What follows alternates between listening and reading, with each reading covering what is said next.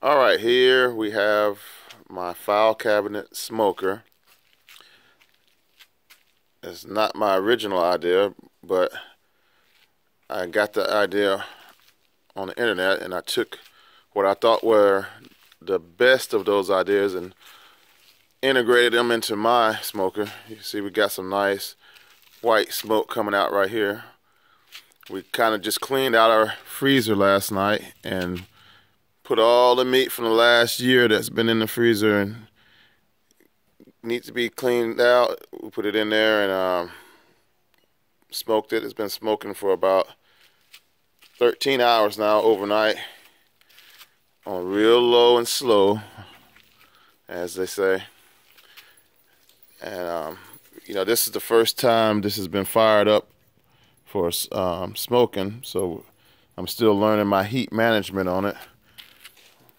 We got some dampeners down here. We had them wide open last night, and uh, what I realized is on the with the uh, racks inside of them, you have to leave a little space for the heat to propagate up, or you end up like we see how the the top one is really low, much lower than the um, the middle where we're cooking. But you know, we like I said, I don't think that's going to be a problem innovated a few things into it here. Got this handle. This is for transportation. Just take that and slide it into here. Like, like so. You got wheels down there on the bottom. And all the sawdust is to catch all that fat that comes out because um, it's not sealed like that. We want some air coming through, but but that sawdust keeps it from making a mess and everything.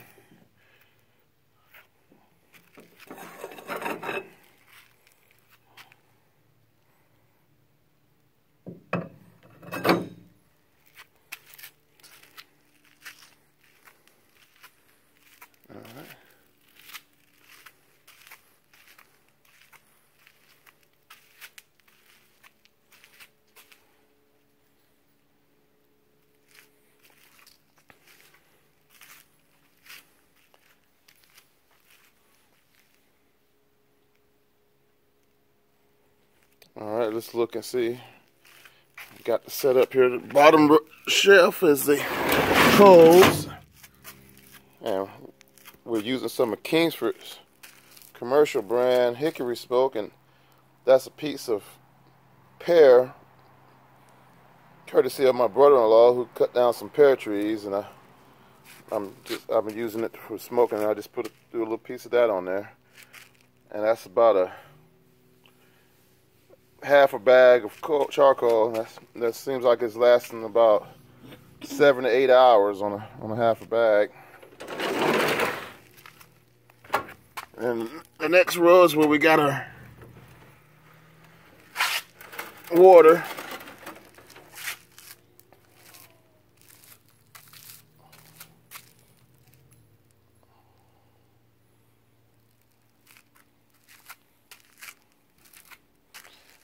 Matter of fact, finish, when I finish it off here, I'm probably going to remove one of those.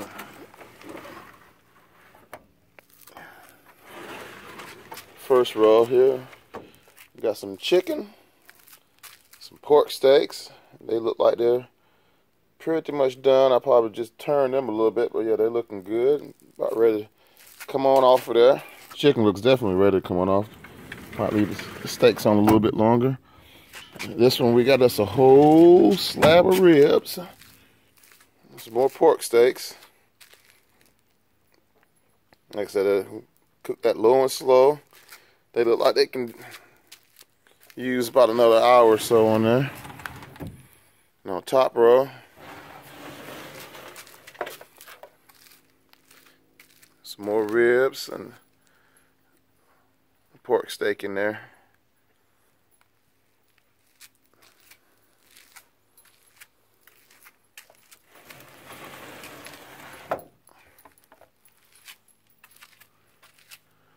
All right. Well, there you have it. That's our file cabinet smoker.